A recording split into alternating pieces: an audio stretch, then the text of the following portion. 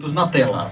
É, a gente quer agradecer aqui essa oportunidade ímpar na nossa história, aproveitar essa grande audiência, agradecer a cada militante, aos amigos, a vocês pelo espaço e às pessoas que estão sonhando, sonhando em dias melhores. E dias melhores, sim, pode acontecer via política, via esse mandato de deputado federal. A gente quer aqui dizer a toda a população sertaneja, a todo o povo, e principalmente de Oricuri, praticamente a gente pode sair eleito da cidade de Oricuri. A nossa perspectiva de mais de voto é entre 15 e 20 mil votos. A gente pode estar sim é, é, ocupando essa vaga na Câmara Federal devido os nossos quadros que nós temos no pessoal são 38 candidatos a deputados federais e todos têm essa, é, uma média de votos em que a gente pode eleger um ou dois e podemos até ser o mais votado. Queremos contar, queremos dizer que esse, esse projeto não é meu, é nosso, é para a cidade, é para a região, é para o povo sertanejo. Que os comerciantes que tanto sofrem pagando imposto, tanto sofrem com a relação do baixíssimo poder econômico, que do poder de compra, possa estar abraçando essa ideia.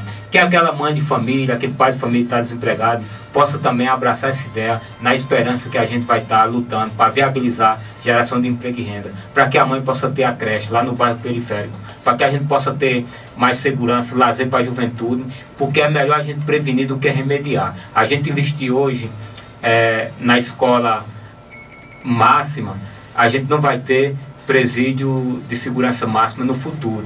Então a gente investe na escola, não vamos, vamos precisar ter presídio. Então a gente quer estar aqui, a gente tem uma visão da questão do camelô, feirante e profissionais ambulantes, é, uma, uma alternativa, os mototaxistas, todas as pessoas, empreendedores que é, desenvolvem uma economia alternativa. Essa economia foi quem salvou é o desemprego. Porque na hora do desemprego, o pai e a mãe de família vai procurar algo a fazer para viver com dignidade. Então, muitas vezes o governo não está nem aí para a população. A gente tem a visão que é importante a gente lutar para que essa, esse, esses empreendedores populares possam ter mais acesso à questão de empréstimo, seja subsidiado a juros zero.